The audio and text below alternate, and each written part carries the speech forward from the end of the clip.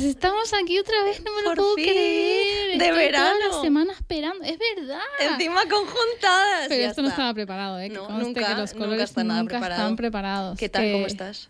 Pues estoy bastante bien, la verdad. Yo tengo muchas ganas del capítulo de hoy, no vamos a hacer spoilers, No, no, no, spoilers nunca. pero Los tengo odiamos. muchas ganas de que tratemos un tema que todavía no hemos tratado, pero que va a dar para mucho. Jolín, es que yo estaba pensando que podrían ser como uno, dos, tres, cuatro, cinco capítulos. Sí, Montones, pero- montones. pero va a ser bueno, uno. Va a ser uno. Eh, como spoiler, queremos decir un pequeñito spoiler, ¿vale? Sí, sí. Eh, va a ir de corporalidades, va a ir en torno cuerpos. al cuerpo y en torno a muchas cosas que todavía están ahí en la mesa por trabajar. Y... Sí, sí, sí. De hecho, eh, cuando estábamos pensando en este podcast, dijimos, ¿cómo podríamos empezar este podcast para no ser unas intensas? Sin, no que, lo sabemos. sin que suene forzado, así que sí. mejor no lo hacemos. Sí, sí, sí, no, ¿Y? y no, no, no sabíamos cómo hacerlo, así que lo haremos con intensidad. Bueno, eh, para trabajar eh, el cuerpo, qué mejor que hablar de nosotras un poco.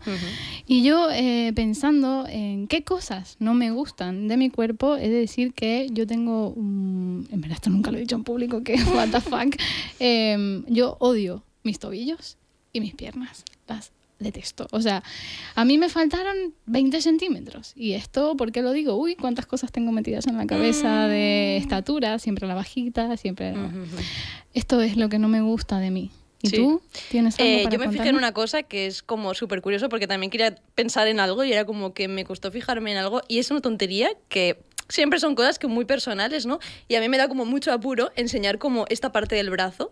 Dices, O ¿por sea, qué? tus, tus antebrazos. Sí, esta parte, porque tengo dermatitis, entonces es una parte que cuesta más cogerse colorcito, entonces se suele irritar más y es una tontería general, ¿no? Pero hoy vamos a hablar de esas cosas que nos cuesta como aceptar de nuestro cuerpo y Ya está, dentro intro. dentro intro. Hoy vamos a hablar en concreto de, bueno, de corporalidades, ¿no? De las ciertas inseguridades que podemos tener con nuestros cuerpos, de toda esta basura mental que nos han introducido tantísimo, ¿no? Eh, La cultura de la dieta, eh, la inmensa eh, cultura de la gordofobia que tenemos tan interiorizada. Y yo creo que tenemos un libro eh, Tenemos un libro que nos va a ayudar mucho y a través del cual hoy vamos a hablar de este tema de corporalidades y en concreto de, de gordofobia. Cuenta tú un poquito eh, de qué va a ir, por A favor. ver, esto no es solo un libro, sino que este capítulo es el segundo oficialmente en el que contamos con una segunda invitada. Ella es Tess H, que ¡Ué! puedes entrar en escena. Hola, bienvenida. tal? ¿Qué tal? ¿Cómo estás? Muy bien, la verdad. ¿Estás contenta de estar aquí? Con muchísimas Y ganas nos de hemos- hablar. Nos hemos alegrado porque vamos todas en mismo Conjuntadas. Somos ya colores de verano, ya, por favor, Verano, verano. oficialmente verano. Sí. Porque tenemos este libro que se llama H Amor Gordo. Es de la editorial Con Tinta Me Tienes. Era muy importante nombrar esta editorial porque nos encanta. Nos- no sé, Tiene sí. un catálogo brutal, precioso y además ha hecho posible que contemos hoy contigo aquí. Mm. Eh, obviamente es un libro, quiero decir, que ah, donde hay muchísimas autoras. eh, Es un libro coral. Sí, sí, es totalmente coral. Cada una eh, habla del tema mm, con diferentes, bueno, eh, formas. Hay más relato, más ensayo, hay poesía incluso. Y, Y, y hay, bueno, hay foto, ¿no? Porque tenemos a Tess, por eso. Sí, porque sí, es, verdad. Es la, la- la parte en la que habla Tess, hay imágenes.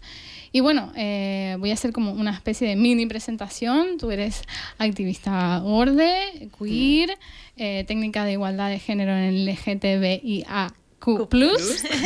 Eh, y, mm, pero bueno, eh, también estábamos comentando como, bueno, ¿cómo podemos explicarle? Porque la abuela de... Mi abuela ve este podcast. La abuela de ella bueno, mis dos abuelas ven este podcast, entonces yo pensaba, vale, nosotras, bueno, pues estamos familiarizadas con estos temas, ¿no? ¿Cómo le explico yo a mi abuela qué es lo que haces tú, cuál es tu trabajo y que pueda servir como de introducción para... Claro, o sea, que tú te presentes así como de manera que lo pueda entender la abuela de Sara. Vale, vamos a intentarlo para todas las abuelas. Em, bueno, sobre todo el activismo gordo, em, a lo que me dedico al final es a fomentar y a visibilizar ¿no? Em, las corporalidades disidentes, no solo las gordas, ¿no? pero sí que es verdad que específicamente las corporalidades grandes y las que ocupan espacio. ¿no? Es bueno, súper importante la divulgación por redes sociales, pero también a nivel educativo, ¿no? que ahí es donde lo de técnica de promoción de igualdad de género, que al final son talleres educativos, em, formaciones ¿no? a las personas que necesitan eh, información ¿no? para que al final pues, todo el mundo em, tengamos los mismos derechos y, y sobre todo, bueno, mm, temas de género, ¿no? que para mí va muy ligado al cuerpo y ya iremos hablando, ¿no? Pero sobre todo creo que mm, lo de hoy va a ser súper chulo porque tiene mucho que ver como, bueno, el cuerpo, las violencias estéticas y el género. Muy bien, súper, súper. Eh, creo que lo ha entendido tu abuela, mi madre, mi padre también, mi hermano, yo creo que lo entenderán súper bien. Eh, para poder dar pie a todas estas temáticas que son muchísimas y hemos intentado claro, porque el libro tiene como muchas perspectivas, eh, se habla desde muchos lugares, se desquita de muchos privilegios que tenemos todas mm. heredados y hay como muchas posiciones desde la, la migrante, ¿no? la boyera, pues desde todos los colectivos, ¿no? También. Entonces, claro, teníamos como muchas ideas, teníamos el libro súper manoseado, súper subrayado, estábamos como súper enamoradas de, de, esto porque también ha sido un poco como frotarte los ojos y decir, wow, eh, hmm. de qué manera hay que empezar a mirar también de otra manera porque en la mirada también hay, hay mucha cosa ¿no? que a mí me ayuda el libro. Y entonces hemos eh, hecho unos, unos esquemas para, para, para un poco atrapar y entendernos.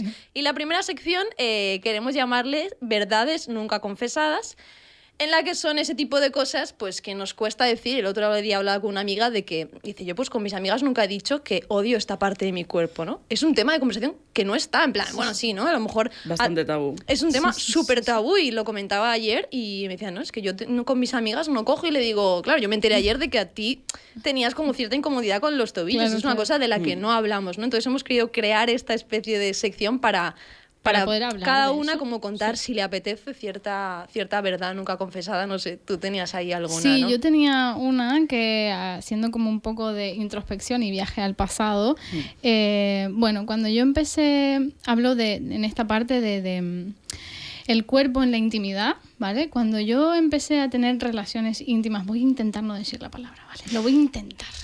Eh, la palabra censurada. Cuando yo empecé a tener relaciones íntimas con hombres, eh, era más joven y, y en ese momento de mi vida había muchas cosas que no me gustaban de mí misma, pero muchísimas. Era como odio esto, odio esto, odio esto. Entonces, eh, me acuerdo que cuando quedaba, antes de quedar con esos chicos, yo me ponía en el espejo y decía, vale, o sea, cuando estemos ahí in situ, no voy a poner esta postura, voy a ponerme así porque así se me ve mejor no sé qué, así no se me marca no sé qué, no sé cuánto. O sea, os lo juro. Y el otro día le comentaba a Sara que fui a una charla que daba Ana Milán en la que decía, eh, cuando dejemos de posar, eh, durante las relaciones íntimas vamos a empezar a disfrutar. Hay, hay incluso una cosa que tengo marcada en el cerebro, que es eh, cuando estaba en medio de esa relación, yo, por ejemplo, ocupaba la parte de encima y nunca me incorporaba, o sea, me daba vergüenza mis pechos, me daba vergüenza mi barriga, me daba vergüenza, entonces siempre me, me quedaba pegada a la otra persona en plan, no voy a despegarme ni de... Y me acuerdo el día que dije, yo me voy a, o sea, fue como, esta soy yo, ¿sabes? Esto, este es mi cuerpo y, y así y ahí, en ese momento, empecé a disfrutar.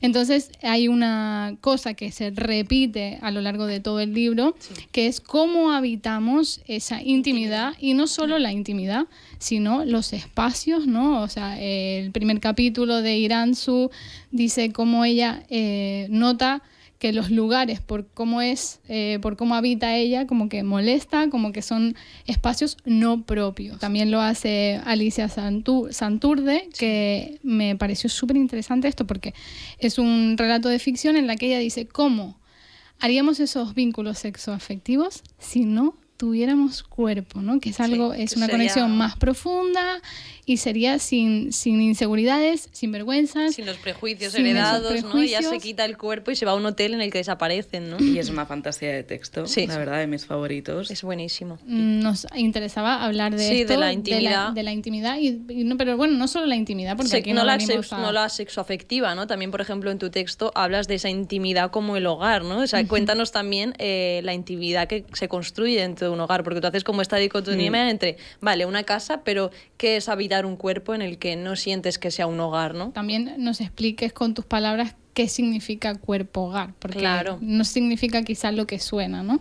Claro, mm. cuéntanos. Sí, como que cuando escribí este texto estaba un poco obsesionada con, con el tema hogar. También me acababa de mudar, entonces era como cositas de...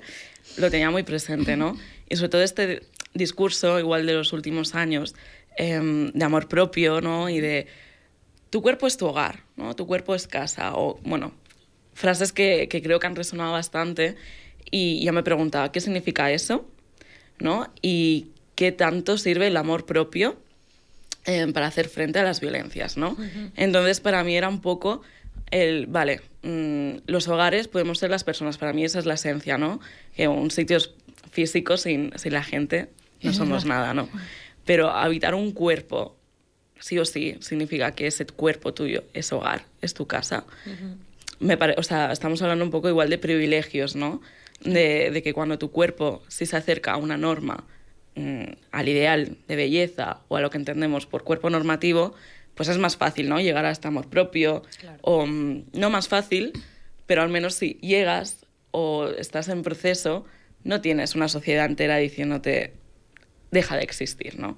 Entonces, en el momento en que dices, vale, mi cuerpo es mi hogar, pero todo el mundo te está diciendo, y no todo el mundo, sino un sistema, te está diciendo que no puedes serlo, que no puedes ocupar espacio, que no puedes existir, se hace muy difícil, ¿no? Pero para mí era un poco rescatar esa esperanza, ¿no? Y acabar siempre un poco con, con pensamientos bonitos, que no, que no happy flowers, de que tenemos capacidad de crear hogares, ¿no? Y que, no sé, o sea, cogiendo una frase de una amiga, em, el contacto es ternura. Para mí es algo que es una frase que, que, llevo en el móvil, que llevo en todos los sitios, ¿no?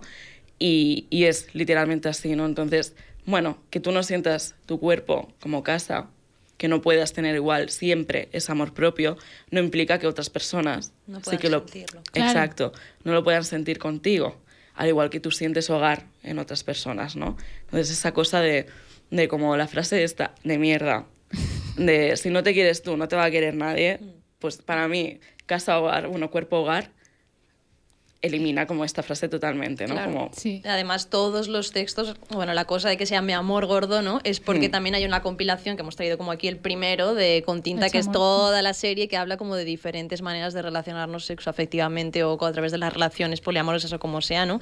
Y este en concreto al final, lo que yo tengo la sensación leyendo todos los relatos es que al final lo que se está hablando es de un amor propio, pero no ya saliendo de esta idea que dices tú, flower power, sino como cómo deconstruyes el privilegio también hasta llegar a encontrar eh, eh, ese hogar también y habitarlo y cada uno y cada una de las personas que colaboran aquí cuentan la manera, incluso hay quien dice, hombre, pues yo preferiría no ser gordo, ¿no? Pero aún así estoy también tratando de aceptar esto, Claro. ¿no? Claro, es como claro. también las contradicciones de las que hablaremos luego, que Enrique Aparicio lo decía, como, bueno, también es ese trabajo, ¿no? Sí, bueno, al final el ser humano es contradictorio, ¿no? Y sobre todo, ¿qué es eso, no? Que cuando te están poniendo el foco de que tu cuerpo no es válido, ¿en qué momento crees que puedes tú llegar a quererlo, no? Claro, hay un apartado también un- en, eh, uno de los libros cuando eh, se hace una charla en Ah, sí, Comando Comando Gordix, Gordix. Sí. que hay una pregunta que yo tengo especialmente marcada que es, ¿os preguntáis si les gustaréis por lo que sois, por cómo sois?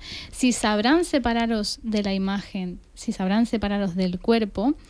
Y, y todas ellas, ¿no? mientras charlan y hablan de esto, llegan a una conclusión que para mí es eh, súper válida, que es, a ver, no solo somos cuerpos, ¿vale? Es muy importante, o sea, tú que nos estás mirando no eres solo un cuerpo, eres muchísimas más cosas, todas, todos, todes, todas somos más que cuerpos y creo que al final eh, eso es súper importante porque también se aborda desde otras partes del libro Sí. que somos cuerpo, somos mente y somos todo lo que nos ha hecho llegar hasta aquí y lo que nos hace tener esta, Esta personalidad y bueno, y estar aquí. Eh, me gustaría compartir una imagen de Teresa López Cerdán, eh, pero no por la imagen, sino porque ella eh, incluye un texto que creo que va mm, perfecto, ahora lo vemos ahí en pantalla. Eh, bueno, ella dice, este es mi cuerpo y mi cuerpo molesta, mi cuerpo hiere, mi cuerpo altera, mi cuerpo que solo anhela existir tranquilo, es centro de debate, es objetivo en la batalla, es chascarrillo en la barra del bar. Bueno, os, os invito a que lo leáis porque mm, de verdad ella dice, esto es así y estoy contenta y, y es un problema también que haya sido eh, objeto de, de bueno de debate y de polémica y de y sobre todo de crítica y de odio que Mm, Pero bueno, eh, esto fue justo ayer y dije, Jolín va súper bien para este momento. sí. Bueno, y otra de las verdades nunca confesadas que quería contar yo es que cuando era adolescente, no este momento en el que el cuerpo está cambiando un montón, yo pasaba los veranos en un camping y en el camping pues estás todo el tiempo pues en bikini, enseñando todo tu cuerpo, entonces como ese momento de mm, máxima vulnerabilidad en el que el cuerpo cambia, ¿no? Y yo tenía un espejo en el que siempre cuando acababa de comer o algo me miraba y era como a ver qué cambios se han producido en mi cuerpo. Y es como, esto es terrible, ¿no? Porque eres adolescente y tu cuerpo está cambiando. Y para hablar de esto y seguir hilando libros, he traído Panza de Burro de Andrea Abreu, que todas lo conocemos bastante y muchas seguro que lo habéis leído. ¿Por qué? Porque es un libro que narra perfectamente la historia de dos niñas que viven en un pueblo, en una aldea de Tenerife, ¿no? Si no me equivoco. Una aldea, como una aldea. Bueno, no un en pueblo, en un pueblo. en un pueblo de Tenerife, entonces cómo van viviendo eh, esos cambios que se producen, ese paso de la infancia a la adultez. Y una de ellas, ¿no? Eh, es interesante porque no se mira desde la mirada eh, como anulando a la niña porque sea gorda, sino que simplemente la amiga la acompaña en este proceso, ¿no? Y tampoco todavía han entendido que sus cuerpos sean un problema, ¿no? Como hablábamos antes, o algo que molesta, ¿no? Eh, entonces también queríamos hablar de ese momento en el que eres niño o niña y todavía no tienes esta presencia que la sociedad sí que tiene como gordofóbica y de hecho la niña la someten a una dieta de régimen a base de, de sopa de cebolla. Y ellas están como jugando y de repente le llegan como todos estos inputs que ni siquiera han entendido, ¿no?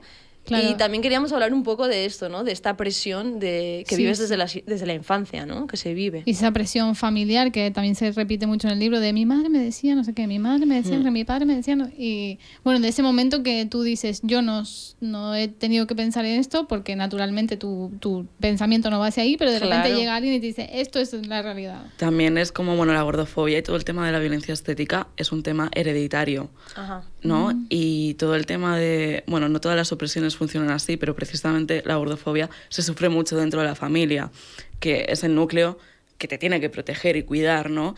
Y, y bajo el discurso de cuidado, precisamente está toda esta cultura de la dieta, ¿no?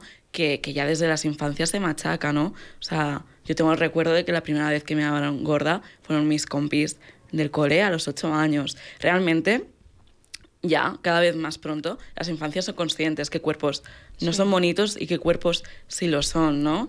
Y, y claro, al final desde la familia también se hereda un montón esto, ¿no? Y los inputs externos y ya de golpe tienes 7, 8 años, 9 y tú quieres jugar y tu derecho de infancia es jugar y aprender y ser libre, pero no, ¿no? O también la hipersexualización con la estética, ¿no? Claro. Ahora que comentabas lo del camping, bueno, tema de playa, mm, el bikini, ¿por qué? ¿No? A las niñas ya llevamos una parte de arriba desde, las, Sí, desde sí. los ocho años, cuando Sí. no hay pecho, ¿no? Pues todo eso, ¿no? Al final nos conduce a lo mismo, a modificar nuestro cuerpo, a estar hiperaler- hiperar- hiperalertas Sí, sí. desde chiquis. O sea, Es entonces, heavy, es heavy. sí, es muy heavy, ¿no? Y, y no sé, ya cada vez como que las bueno, los, los trastornos de la conducta alimentaria se detectan Claro, antes. O sea, antes, a partir sí. de ocho años ya hay conductas. Las infancias ya presentan conductas en relación a esto, ¿no? Entonces, estamos hablando de que la gordofobia y la violencia estética son dos cosas muy tochas, que ya desde las infancias, eh, infancias están desprotegidas, ¿no? Totalmente. Y ahora que comentabas lo de la cultura de la dieta, es como el, el último la última parte de esta, de esta sección porque es algo que, que vemos presente en el libro y, y lo vemos como constantemente. O sea, ¿cuántas veces no hemos escuchado lo de, bueno, voy a guardar esta ropa, esta prenda que me encanta para cuando adelgase? O sea, mi Mm. padre lo dice en plan, bueno, no, pero es, le- yo, ay, te compré una talla más pequeña. No, no, pero esto para cuando adelgase, lo guardo ahí, lo guardo ahí, toda esa ropa o esas cosas que es para cuando Total. adelgase. O sea, es como esta cultura de la dieta, Mm. lo presente que está constantemente. ¿Cuántas personas no hemos dicho, bueno, voy a hacer una dieta en plan más saludable o para Sí, sí. adelgazar o para tener más energía en no sé qué? Eh, y entonces, mm, bueno, este... Esto quizá es algo que hay que ir como desarmando un poquito, ¿no? Está bien eh, tener buena salud, por supuesto, Sí. no estamos en contra de eso, pero no como el objetivo de cambiar nuestro, Exacto. nuestro cuerpo. Mm, que al final la salud no tiene que ser pesocentrista, ¿no? Ahí Exacto. está. Entonces, no sé, el otro día estaba leyendo una revista, La Cosmopolitan, porque yo hago mucho collage, y de golpe había un artículo que decía, em, respirar no puedes adelgazar. Y yo, estupendo. O sea, ahora no basta con que respirar sirva para vivir, sino que ahora sí, encuentras la técnica de respirar bien, estarás quemando calorías. ¿En serio? Porque Hola. muy fuerte. Y es una revista que compré, quiero decir. Que, que no es de hace 80 años, que es de hace dos meses. Wow. Ya, ya. Entonces, así estamos, ¿no? Pero es una contradicción absoluta que es también como otra de las cosas que queremos hablar ahora, porque realmente estamos hablando de que tú necesitas, como en tu texto dices, habitar tu cuerpo. O sea, no puedo Exacto. respirar. O sea, es que necesito respirar, ¿no? Entonces también sí, entra sí. mucho en contradicción con la idea de que al final necesitamos, eh, pues eso, lo que decías tú, ¿no? Unir mente y cuerpo y poder mm, vivir. Totalmente. Total, totalmente. En, en este apartado que dices tú de las contradicciones, yo lo siento, pero voy a hacer un poco de publicidad porque tengo una amiga, una de mis mejores amigas que se llama Noelia Morgana, que ha publicado ahora su tercer, se ha autopublicado su, bueno, su tercer libro, no, su no sé cuál número de libro, se llama La Fuerza, y ella hace un, tiene un texto que voy a leeros una parte para lo de las contradicciones que me parece súper potente y es puto real, sorry por lo de la palabra. Eh, y, y ella dice, voy a leer solo tres frases. Se puede ser hippie y monógama. Se puede tener depresión y sonreír en las fotos. Se puede echar de menos a tu ex y montar orgías. Se puede estar celosa y ser feminista. Se puede haber sido violada y salir de fiesta. Se puede haber muerto alguien y estar contenta. Y como también aparece en el libro, sí se puede habitar un cuerpo y también sentir esa gordofobia Sí. que es algo que lo hemos visto un montón en el texto, ¿no? Como está... eh, ha- había una parte que decía, bueno, yo tengo este cuerpo, eh, soy gorda, De pero hecho- también tengo esa gordofobia interiorizada. Creo no que me era- gusta, ¿no? Creo que era Irachu la que decía, como he participado en varios proyectos contra la gordofobia, a ver si me quito la mía. No sé, no Claro. sé si ha funcionado. Y es como, ¿no? Qué bien, Sí. o sea, eso nos pareció como súper guay. Sí. ¿sabes? Sí, al final, bueno, la gordofobia es algo que también está interiorizado, ¿no? Y, y que son, bueno, son dos lados del mismo espejo, esta cosa de, vale, es un sistema que opera, ¿no? Y que, y que, bueno, va contra las personas gordas, pero la gente tiene miedo a engordar también. Claro, claro, claro. ¿no? Entonces, por un lado está la gente que tiene miedo a engordar, por otro lado está la discriminación hacia la peña gorda y don- dónde nos deja eso a la gente gorda, ¿no? Claro, claro. Como al final una, una que tu cuerpo es batalla, es un campo de batalla, ¿no? Constante, entonces sí, el empoderamiento y el amor propio es muy necesario, es una herramienta más, pero no es lo suficientemente radical y potente Claro. como para derivar toda esta opresión, ¿no? Totalmente. Y al final la gordofobia interiorizada es como esa voz constantemente, ¿no? Y si todo el mundo tiene miedo a engordar y tú ya eres, tú ya encarnas ese cuerpo, ese miedo que tiene la gente y ese odio, pues, ¿cómo no lo vas a tener hacia ti, no? Sí. Que al final es un viaje, un camino, un vaivén, Mm. ¿no? Pero bueno, también como la, como bueno, em, Tatiana Romero, que es la coordinadora del libro, em, empieza con la frase por detrás de, de Laura Contreras de no hay para una gorda no hay nada mejor que otra gorda, ¿no? Y es como súper necesario eso, como Sí, al sí, final sí. la gordoridad que se llama y, y estar acogida, ¿no? Por iguales para aprender también Sí, sí. a amar a otros cuerpos gordos, siendo tú gorda, ¿no? Sí, de hecho lo teníamos Me apuntado. ha parecido súper interesante por eso, porque lo que me gusta del libro es lo, lo- lo político que haces la lucha y La y colectividad. la colectividad de escuchar, Mm. igual que dices tú que la gordofobia es una voz, para mí ha sido súper interesante como escuchar todas las voces y como una especie de abrazo colectivo bonito y político y radical de decir, bueno, esto es lo que está pasando, esta es nuestra propuesta, ¿no? Y verlo desde ese lado y también hablábamos, ¿no? Que te ayuda mucho a educar la mirada de qué cuerpo es deseado. ¿Por qué no? Había una chica que decía, bueno, a mí me pone mucho la gente que deconstruye su deseo. Sí. Sí. Y pensé, wow, es que qué potente. Por eso decía que me ha ayudado como a frotarme mucho los ojos y decir, tengo ganas de, de leer más y, y de aprender y de, de construir tantísima basura Es- es interiorizada todo el rato. Todo el mundo tenemos mucha basura interiorizada, ¿no? Y esto de construir el deseo es súper importante que lo hagamos todos, ¿no? Y no solo viendo el deseo desde lo sexoafectivo, sino el deseo en todo, ¿no? Entonces, al final, nos hemos criado con un marco mm, Sí. social Sí, y sí. erótico y de todo, que lo hemos mamado todas las personas, seamos dentro de la norma Oh, sí. o, o no, ¿no? Entonces, es muy importante, ¿no? De construir este deseo que es responsabilidad de todos no solo de la peña del propio colectivo, ¿no? que a Claro, veces se queda en esto, ¿no? De, vale, yo como persona gorda, si tengo gordofobia interiorizada y tengo gordofobia incluso externa, me lo trabajo, vale, encuentro el deseo en otras personas gordas, ¿no? Bueno, y el privilegio delgado, poner también el foco ahí, ¿no? De la gente de, bueno, ¿y tú qué haces con tu deseo? ¿Y tú qué haces con tu gordofobia, ¿no? Como... Y ahora queríamos pasar también, porque una de las cosas, bueno, esto es como verdad, un secreto a voces, ¿no? Que es también, a pesar de que trabajemos o que se trabaje dentro de colectivos por visibilizar este tipo de cosas, también no podemos evitar ver últimamente en nuestros medios de comunicación, justamente en Código Nuevo, el hate que, que se recibe eh, que recibimos, bueno, nosotros o las publicaciones en las mm. que se habla de temas de gordofobia, en la que no se dice nada más que poner eh, en ojos, mostrar realidades. Entonces, también queríamos hablar contigo, eh, no es algo que se hable directamente en el libro, pero sí que es verdad que sí que se habla en cuanto a la gordofobia y en, cuanto a los cuerpos que molestan, ¿no? ¿Qué, ¿Qué, mm. pasa en Internet? ¿Qué está pasando? ¿Qué está pasando? Bueno, Internet al final tiene esta cosa de que no estás cara a cara, ¿no? Eh, el anonimato. Está el anonimato y, y, ahí es, bueno, la cosa más cruda, ¿no? No, no quiere decir que fuera no pase, porque sí pasa en la calle, pero no, no el mismo volumen, ¿no? Entonces, bueno, las redes sociales em, para positivo o negativo son altavoz para toda clase de personas, ¿no? Y al final, bueno, también con todo el tema de movimientos real fooding, no voy a mencionar a nadie, pero creo que... Está bastante claro. Vale.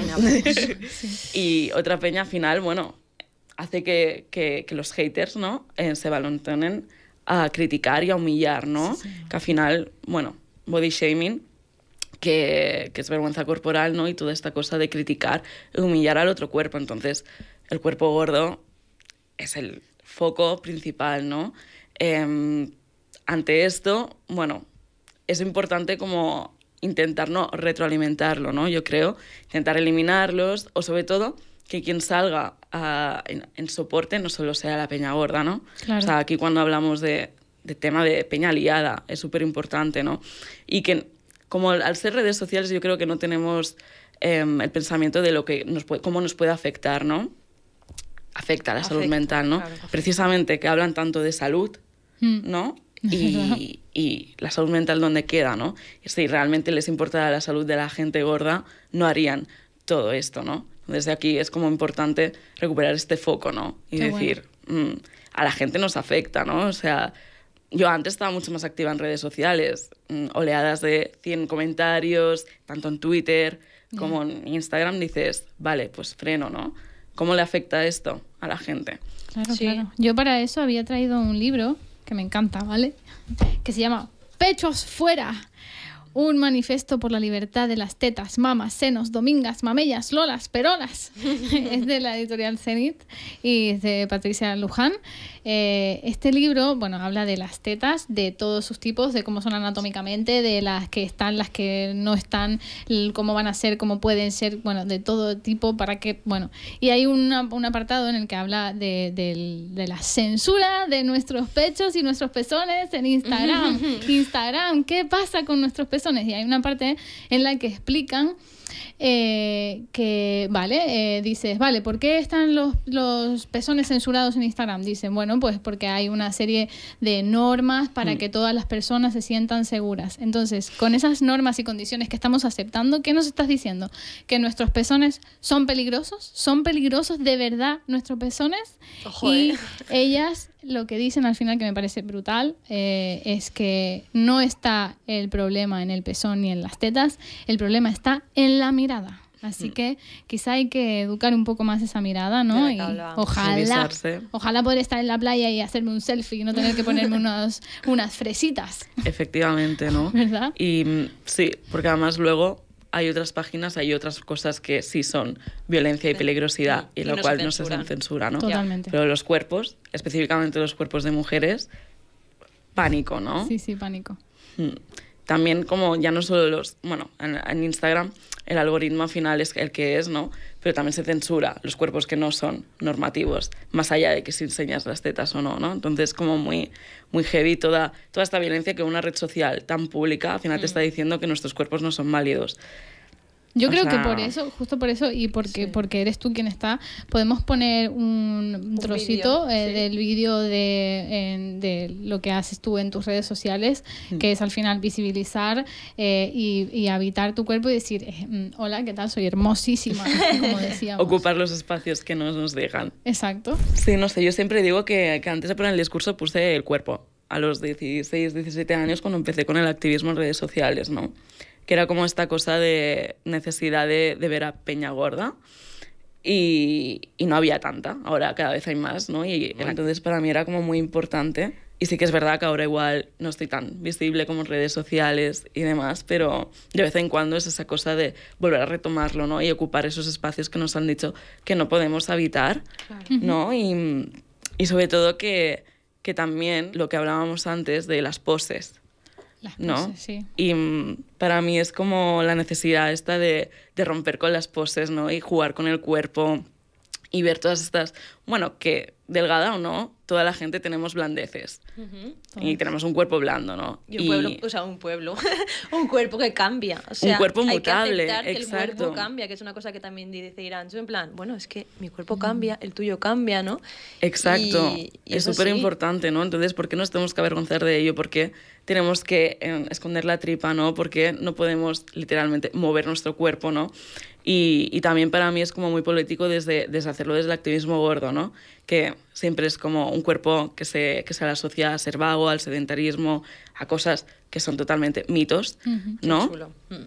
Y para mí es esta cosa de, bueno, igual si la gente gorda no sale a hacer deporte, que no, que obviamente hay mucha gente gorda que sale a hacer deporte, pero si no sale a los espacios públicos, no sé, no hace este movimiento, etc., etc., igual es por toda la discriminación, Claro, ¿no? Que no, claro. Que está claro. Entonces todo el estigma social va enfocado ahí, ¿no? No a que mi cuerpo es gordo y por eso no me muevo, o sea, es absurdo, ¿no? Entonces, no sé, necesario, ¿no? Que al final... Súper necesario. Sí, Y, y hablando de referentes, una de las cosas que queríamos incluir aquí es que, bueno, ahora contamos con más referentes dentro de lo que cabe Sí, tú lo gracias. contabas antes cuando nos hemos encontrado. eh, Sí. ella me lo, me lo contaba con una anécdota súper guay en clase también, que si la quieres contar yo encantada. Sí, o sea, a mí me encanta todo el- toda la fantasía del brilli brilli y me Vale. encantan las hadas desde chiqui, ¿no? Entonces, em, yo recuerdo de tener una conversación con un profe, además, quiero decir, de, de hace poco, Sí.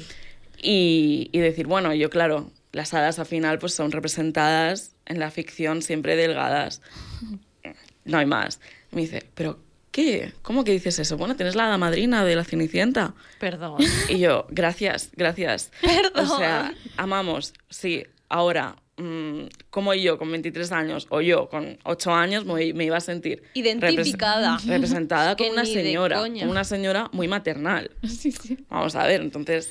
mm, Pues Claro. igual lo mismo pasa con, las villanas. Sí. Que por cierto, las villanas que, bueno, hemos traído algunas fotos de las villanas eh, más conocidas, sobre todo, por ejemplo, Úrsula de la Sirenita, Que es una sí. mujer gorda, eh, que además ella me, me dice, no solo es una mujer gorda, sino que es drag.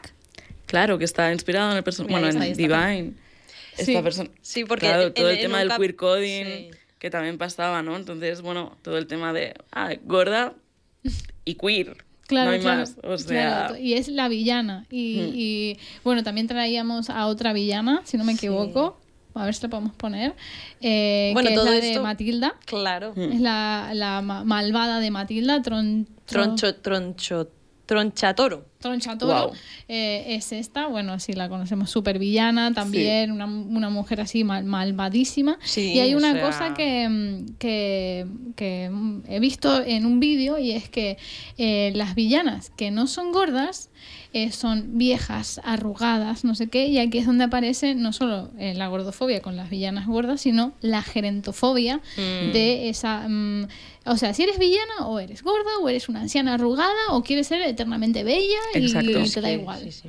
Entonces, eh, eh, los referentes quizá es mucho mejor. Ahora es verdad que están cambiando, ¿no? sí, Están están cambiando. Están cambiando un poco. Esther Pineda, que es una autora y socióloga que se, bueno, fue quien acuñó el tema de la violencia estética, precisamente se basa en, en esto, ¿no? que la, bueno, la violencia estética es gerantofobia o edadismo, em, es gordofobia, racismo, Mm. ¿no? Entonces, bueno, que está atravesado por diferentes ejes que no solo es el género, Exactamente. ¿no? Entonces, bueno, tienen un libro de, que es Bellas para Morir, que es muy chulo y habla un montón de todo este análisis, ¿no? De, no solo de los medios de comunicación, pero sí hace mucho hincapié, porque al final los medios de comunicación son el altavoz más grande del bombardeo de imágenes y mensajes para todo el tema de la violencia estética, la cultura de la dieta, etc, etc, ¿no? Entonces la importancia de generar nuevos referentes que no se basen en, En esos. en- claro, en esos pilares de la violencia estética. Claro, de hecho habíamos dicho que sería súper guay que trajeras tus libros. referentes o tus libros con los que tú te has construido tu, tu mundo, tu, ¿no? También que te han empoderado y te han o ayudado que te, a- que y te que te gusta gustan o lo que o sea. que, que quieras. No sé si nos has traído Sí, alguno Sí, para he traído, he traído varios. Qué bien. Em, lucha contra el capacitismo de, de Ichi Guerra, que bueno, habla sobre todo de, bueno, es chiquito y se puede leer muy, muy rápido, y habla sobre todo de, de lo que es el capacitismo, que es la discriminación que sufren las personas discapacitadas y o con diversidad funcional, y para mí es como muy importante, muy referente, porque tiene mucho que ver con la lucha también em, del activismo gordo en contra la gordofobia, ¿no? Que al final, bueno, y también con el colectivo LGTBI, que al final todo lo que se ha tachado de indeseable y de anormal Sí. se ha patologizado, Sí. ¿no? Cierto, Entonces se nos olvida que, que hasta hace poco había, bueno, casi todo el colectivo LGTBI está patologizado. Bueno, hay otras realidades que lo seguimos, ¿no? Estando como la peña gorda o la peña disca. Entonces, ¿qué pasa con todo esto, no? Y porque es ne- necesario la mirada de, de despatologizar y de ver que, que los cuerpos mm, no solo hablan de salud, hablan de mucho más y que la salud también es un constructo social. Que, a ver, que, que va muy ligado con todo el tema de la belleza, ¿no? Entonces, Ichi Guerra para mí es como una referente súper importante para esto. Y, y también Cuerpos sin patrones de Laura Contrera, que antes la he mencionado. Sí, Qué además es una edición súper chula. Ay, qué bonito, me encanta. Súper guay. Y con Nicolás Cuello, que a veces, bueno, con esto de que la violencia estética tiene el eje del género, a veces se nos olvida que la gordofobia no solo afecta a las mujeres eh, y disidencias de género, sino también a los hombres gordos, ¿no? Sí. Que es muy diferente la socialización que ha tenido un niño gordo al que no lo ha sido y etc., ¿no? Entonces, bueno, también es como súper referentes mi propio hermano para mí, em, como alguien, una persona gay y, y gordo también, ¿no? Y siendo mi hermano mayor, al final también, como esa cosa de ver referentes a- en tu entorno Ah, y qué personas de iguales es muy importante, no solo en la ficción, ¿no? Entonces, poder unir, a- bueno, que no se nos olvide como que al final los referentes pueden guay, estar en la pues ficción sí. y es muy potente, como, no sé, Steven Universe, que no sé si conocéis la Yo animación, pues 100% recomendable, que no solo es para niños, sino también para adultos. Y es de las pocas series de animación que tiene una diversidad de género y corporal muy tocha. Qué y que también habla de poliamor y también habla de muchas cosas y que está escrito, bueno, dirigido por una persona no binaria, ¿no? Entonces, cositas que dicen, van mejorando un montón y que hay representatividad de cuerpos gordos, representatividad de cuerpos trans, o sea, representatividad de cualquier identidad, ¿no? Entonces, bueno, y también con mucho persiguiendo este concepto de que somos mucho más que un cuerpo, Mm, lo que hablábamos. ¿no? dijimos. Entonces, sí, como que poco a poco hay más. Claro. Jolín, queremos que vengas todos los días. Sí, Por sí, favor. Invitadme cuando queráis. es que es fatal porque, o sea, se nos ha ido el tiempo. Yo creo que tenemos espacio para dos cosas. La primera Sí. es que nos encantaría que tú lanzaras a tu cámara un mensaje de amor propio, algo que alguien que nos esté escuchando que esté ahí en su habitación, ¿no? Sí, que necesite o que quiera. Sí. Mm, lo que lo que te apetezca y luego ya pasamos a la sección última que es quemar El un libro de de la hoguera. Vale, súper. Pues yo creo que a, esa- bueno, a todas las personas les diría que, mm, que cuesta mucho em, no fijarse como en la, en la visión ajena, ¿no? en la mirada ajena que hablábamos antes y centrarte como solo en tu mirada y en cómo tú te ves. Pero bueno, que es muy importante al final intentar abrazarnos, ¿no? Y, mm, y sin sonar como muy happy flower, sino siendo como, bueno, como lo hemos estado haciendo, que es muy importante rodearte de la gente que sí siente hogar tu cuerpo, ¿no? Que, que aunque tú no puedas sentirlo como hogar, ¿no? Em, ser consciente de que tu cuerpo es deseable, tu cuerpo merece amor y respeto desde la base cero en que habitas este mundo y que, y que no, bueno, que hay mucho odio fuera, pero que siempre nos podemos tejer ¿no? con otra gente y hacer nuestra, nuestro nido. Nuestra propia red, ¿no? Sí, nuestra propia red y nuestro propio refugio, ¿no? Y para mí yo me quedo con esta cosa, ¿no? De que el amor propio es una responsabilidad colectiva y no es nada individual, ¿no? Entonces, tener esa cosa en pensamiento un poco todos y a querernos mucho entre nosotros, ¿no? Y a decirnos cosas bonitas. Sí, pero por favor. Cosas bonitas, ¿no? que creo que es importante decir, vale, igual tenemos, nos fijamos en que esta parte de mi cuerpo no me gusta, ¿Cuáles sí? De hecho, queríamos cerrar el capítulo diciendo, vale, hemos empezado diciendo esto no me gusta, pero ¿por qué no también hacer un esfuerzo por, de- o esfuerzo no, decir también las cosas que nos gustan, ¿no? Exacto, ¿no? Cosas que nos gustan de cada una. Sí, es que es súper importante, entonces, eso, ¿no? Y decirle a la gente también esas cosas bonitas Claro. del cuerpo y de mucho más Sí, allá, sí, ¿no? sí, de, totalmente. de, no Sí, sé. ¿no? La personalidad, que no tiene que Sí, ser algo físico de lo exacto. que hablamos, igual, no sé, la energía, la energía es súper importante. Totalmente. Para mí me gusta la gente que te transmite esa energía, que te da esa sensación de hogar por cómo por te habla. cómo es, sí. Pues eso también. Como un Tú abrazo, eres ¿no? así, Sara, tú Gracias. eres así. Y tú también, Tess, de verdad. Las tres, tú vamos. Pues Bueno. nada, ahora sí, eh, eh, la última sección que nos encanta, que yo siempre le digo a Guillermina, bueno, no sé qué hacemos aquí, pero es el libro que si hubiera un terremoto o lo que sea, el libro que te llevarías contigo a cualquier sitio. No sé si si te tiene- dicen, tienes esta lista, quémalos. ¿Cuál coges? ¿Cuál salvas? ¿Cuál, ¿Cuál salvas de la hoguera? Ha sido difícil elegir uno. Siempre Ah, lo es, a mí siempre. me pasa cada día. Siempre lo es. Pero he elegido em, Summer Hill de No sé. Neil Ash. Bueno, es un libro Vale. que, bueno, que a mí me gustó mucho, que lo descubrí igual hace tres años o así. Summer Hill es una escuela perdida que está, o sea, bueno, no está perdida, O sea, ¿no? Pero está ahí como en un bosque perdido. Como yo, En- al- aldea. En- no, bueno, pero En este Mm, caso puede sí. ser. Vale. de Reino Unido, ¿vale? Ajá. y que es una escuela libre. O sea, que se basa en una pedagogía libre y cuando hablamos de libre no estamos hablando de Moncada, la escuela Montessori, no. Vale. Sino Vale. libre, Importante. importante desde unas bases anarquistas, ¿no? Donde, donde, bueno, el foco no está en sacarte a la universidad, puedes, hay gente que llega ahí desde la infancia, dejan, es como especie de internado, dejan ahí las niñas y, y tú entras en un aula y te puedes sentar o no. Y el profe te da la libertad de, ¿te quieres ir? ¿Te puedes ir? Eh, Entonces es como la búsqueda libre de lo que a ti te gusta y te apasiona. Que de golpe dices, em, me gusta, mm, yo qué sé, pues diseñar ropa, pues al final tienes que aprender matemáticas Vale, y pero esto cálculo. es real, ¿existe? Esto es real, Ah, vale, existe. vale. Es que no sabía si era novela de que No, se ha no, creado no, este perdón. mundo en el que no lo sois he libres. especificado. o- No, no, no, existe, existe. existe. Existe y esto es aún mejor, aún y este mejor. libro mola mucho porque te, ense- o sea, te habla de la filosofía de esta pedagogía libre, además luego tiene los testimonios de cómo las niñas han crecido y qué han hecho con su vida, ¿no? Y hay quienes han hecho la carrera, estupendo, y hay muchos que no, y que han abierto su propio negocio, y que, bueno, que te enseña a ver que el éxito no es ganar millones de euros, que no es sacarte una carrera, porque también nos gustaría esta utopía de que te sacas una carrera y de golpe tienes dinero, pues, pues no. No.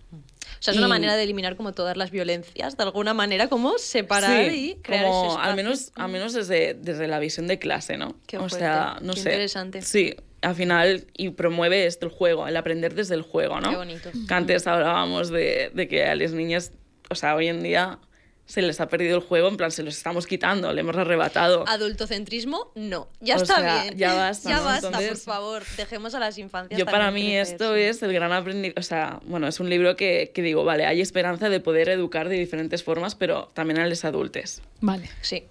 A ver, me están avisando de que tenemos que dar los Pues ya, agradecimientos. agradecimientos. Bueno, rápido, súper, súper. Eh, gracias a Tess, primero, antes de que se me olvide, muchísimas gracias por estar aquí. Gracias, a ti, Gracias. Guillermina, por tu Gracias a energía. vosotros. gracias a BCN Radio Hub, a Aleix, que está como técnico, a Carlos, que nos está ayudando hoy. A Código Nuevo. Código Nuevo, a las botellas de agua, a todo el mundo, a nuestros compis de vídeo, de redes. A Nos vamos, os queremos. Chao, chao. ¡Chao! Chao.